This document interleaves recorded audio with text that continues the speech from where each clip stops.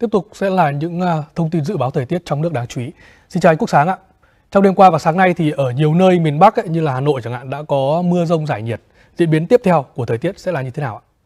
Vâng, đến hiện tại thì mưa đã giảm hẳn ở khu vực miền Bắc rồi ạ. Vùng mây rông thì đang thu hẹp lại, còn tập trung chủ yếu ở Hà Nội, Bắc Ninh, Hải Dương và ven biển Hải Phòng và Quảng Ninh. Mưa cũng không còn to như sáng sớm nay nữa mà chỉ lắc rắc. Dự báo là tại thủ đô Hà Nội trưa rồi mà không khí vẫn đang rất là mát mẻ và dễ chịu, nhiệt độ chỉ khoảng là 27 độ C. Thời tiết rất lý tưởng để mọi người xuống phố đi cà phê hoặc là đi chơi cùng người thân và bạn bè của mình. Và thời tiết dịu mát như vậy sẽ còn duy trì trong cả ngày hôm nay. Nhiệt độ cao nhất ở Hà Nội sẽ không vượt quá 29 độ C. Đến tối và đêm trời cũng ít khả năng có mưa trở lại, nhiệt độ giảm còn 27 đến 28 độ C.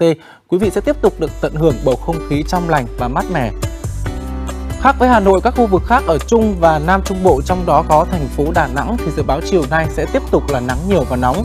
Dự báo mức nhiệt cao nhất là 34 độ C và chỉ số tiêu cực tím có thể ở mức gây hại rất cao, mức 12.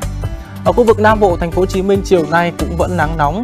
Trung tâm thành phố và các huyện như là Củ Chi, Hóc Môn, thành phố Thủ Đức, nhiệt độ cao nhất là 36 độ C.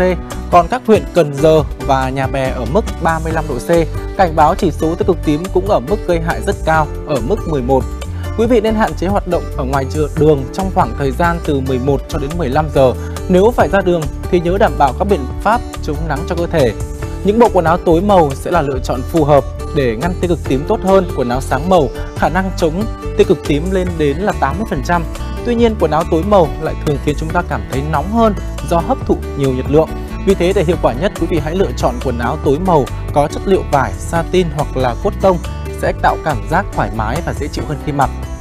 Vừa rồi là những thông tin thời tiết đáng chú ý, bây giờ xin mời tiếp tục chuyển động 24 giờ.